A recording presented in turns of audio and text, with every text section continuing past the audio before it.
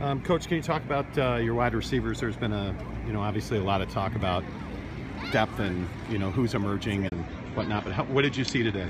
Uh, well, you, you're you're seeing uh, some younger guys getting uh, more reps than they probably uh, would. You know, we, we, we have a um, couple guys that you know are coming back from some hamstring injuries. Uh, so we had some new guys, young guys, get a lot more reps, and and uh, it, it, was needed to see them get some reps in the live work. I think that uh, um, we need to get better uh, at, winning individual battles. Uh, you know, we didn't do a, a, a, bad job catching the ball as a wide receiver group, uh, but I'd like to see us get more contested catches, catch more contested balls when you talk about depth, and I know that you you're a guy who believes in competition. We've talked about that in the past. Do you like the competition that you have? Do you see guys pushing other guys? Well, right now we almost don't have. You know, our, our numbers a little bit right now are. Uh, you know, some guys out are, are we're not having as much competition uh, as I would like.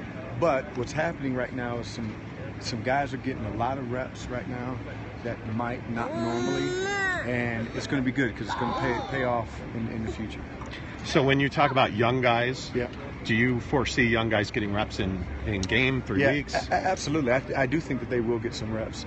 Um, it's just that they're getting a lot thrown at them, at a, a, lot thrown at them right now, a lot, and, and, which normally they would have a little bit more of an easier transition than what they're having currently.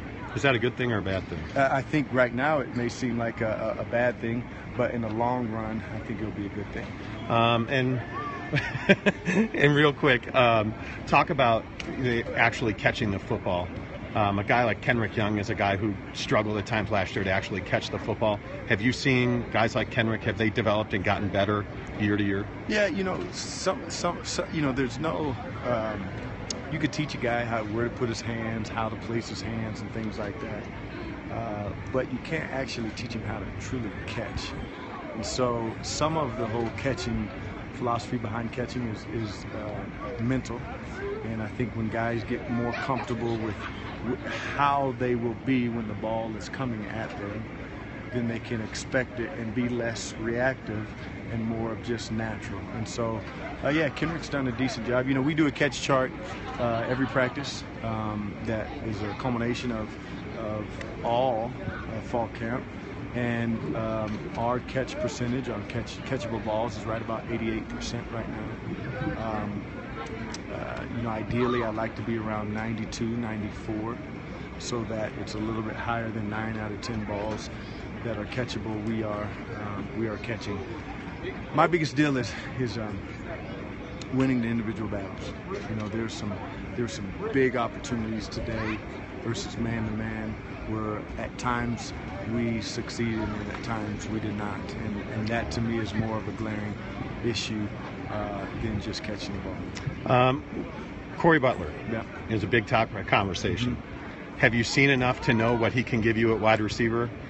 Yeah, he can definitely give you, you, you a burst. He catches. He, he's a natural guy, almost too natural. And what I mean by that is, he's. Uh, you know, up, uh, his past has been high school and JC, where a lot of uh, that type of scheme was go run out there as fast as you can, we'll get you the ball.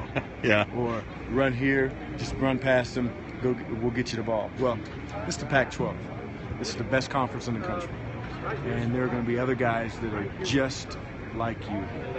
And so uh, I think part that he's really having to grasp was a little bit harder than what he thought is the uh, details of running routes and being able to win against a guy who's just like you. Delshon McClellan. When I say his name, you, where does he fit in your offense, do you think? And is he a guy that you're going to count on to contribute? Uh, we'll see. Time will tell. Uh, he has. He definitely has a battle uh, ahead of him. Uh, the one thing with Delshon that you will see, you'll see it's kind of like a thunderstorm. Uh, you will see that lightning bolt, and you're like, whoa. But then you'll sit and you'll wait and wait and wait, and you won't see another lightning bolt. You might just hear nothing but thunder. Yeah. And so um, that's where that's where he needs to improve on is consistently providing the lightning. Sweet. Thanks, Coach. Appreciate that. Good to see you again. Thanks, thanks.